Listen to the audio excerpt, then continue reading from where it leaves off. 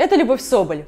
Владимир Путин посетил судостроительный комплекс «Звезда» в Приморском крае и поговорил там с рабочими. Этот диалог выглядел вот так. «Как вы живете?» – спрашивает Путин. «Очень хорошо», – отвечает ему.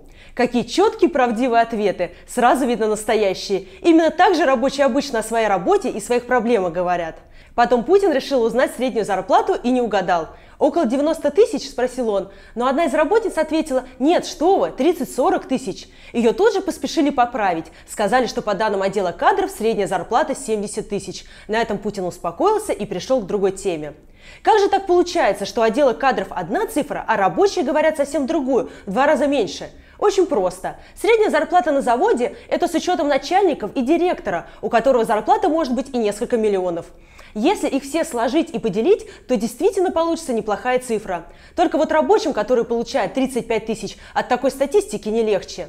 Но в чем Путин прав, так это в том, что судоверь «Звезда» далеко не худшее место по зарплатам в России. Вот так, например, выглядят вакансии Алехтинского химкомбината в Тульской области. Раньше этим предприятием руководил Алексей Рогозин, сын бывшего вице-премьера Дмитрия Рогозина, а губернатором Тульской области является бывший охранник Путина Алексей Дюмин. 16 тысяч рублей. 16 тысяч! И на эти деньги люди живут целый месяц, семьями своими живут. Это же просто издевательство над людьми. О каком величии страны вообще можно говорить, если у людей такие зарплаты? По данным Росстата, во многих регионах России даже средние зарплаты ниже 30 тысяч. Например, в Псковской области это 28 тысяч 181 рубль. И это начисленная зарплата, из нее еще должны вычесть налог в 13%, так что люди получают даже меньше. 28 тысяч – это 344 евро.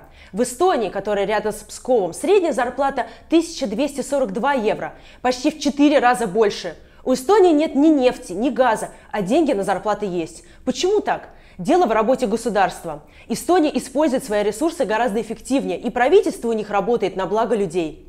Россия могла бы жить гораздо богаче, но для этого нужны борьба с коррупцией, независимые суды, защита бизнеса и много чего еще. Все это возможно реализовать и довольно быстро. Нужна политическая воля и желание сделать богаче жизнь всего народа, а не только своих друзей по секции дзюдо.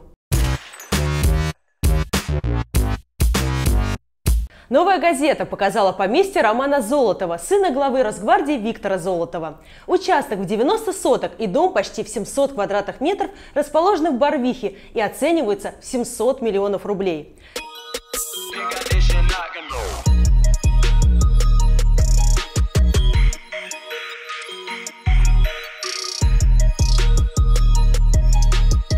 Рядом с этим поместьем располагаются участки Юрия Чечихина, зятя Виктора Золотова. Их площадь более одного гектара, и на них также расположен большой дом. Общая оценочная стоимость всей этой недвижимости может превышать полтора миллиарда рублей. Идеальное место для дуэли, пишет новая газета, и с ней трудно не согласиться. Про то, что Золотов и его семья далеко не бедные, известно уже давно. Еще в 2016 году Алексей Навальный рассказывал про их имущество, а дополнение к этому расследованию выпускала РБК. Но важно даже не то, что у Золотова или какого-то другого чиновника в принципе есть дом на Рублевке. Если они честно заработали эти деньги, то могут позволить себе покупать и дворцы, и самолеты. Важно, что высшие чиновники в России не привыкли отвечать на вопросы, откуда у них эти деньги. Чиновник – это наемный работник. Народ нанимает его, чтобы тот выполнял определенные функции. Как наемный работник, чиновник должен отчитываться перед народом. В том числе, откуда у чиновника деньги. Если при зарплате в миллион депутат живет во дворце за 100 миллионов, миллионов, то это резонно вызывает вопросы. Но в России отвечать на такие вопросы не привыкли. Либо игнорируют, либо рассказывают про компот, либо и эта инновация от Золотова вызывает на дуэль. Бывают, конечно, и подробные ответы. Например, спикер Госдумы Вячеслав Володин недавно рассказал, что его 82-летняя мать купила квартиру почти в 400 квадратных метров на свои. В середине августа Алексей Навальный выпустил видео о том, что у матери Володина есть огромная квартира на Воробьевых горах. Ее оценочная стоимость 230 миллионов рублей. Также 82-летняя мать спикера оказалась талантливым бизнесменом. На нее зарегистрировано несколько активно работающих фирм. И вот в ответ Володин рассказал, что его мать оказывается миллионерша и покупает квартиры на свои. А чем вам не нравится такое объяснение? Вот спикер Госдумы думает, что все объяснил. Надеюсь, однажды в России настанут времена, когда чиновники будут спокойно и честно отвечать на вопросы о своем имуществе. Не врать, не рассказывать про осужденного персонажа и не угрожать делать отбивную. Потому что люди имеют право задавать вопросы, а чиновники должны отчитываться перед людьми.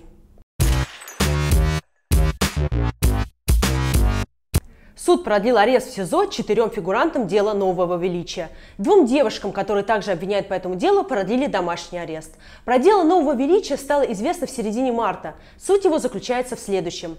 Несколько молодых людей создали в Телеграме чат и обсуждали там политику. Затем к ним внедрился некий Руслан Д, и при его активном участии чат преобразовался в движение. Как пишет Медиазона, именно этот Руслан Д. искал помещение для встреч, занимался созданием структурных подразделений и вызвался написать устав организации.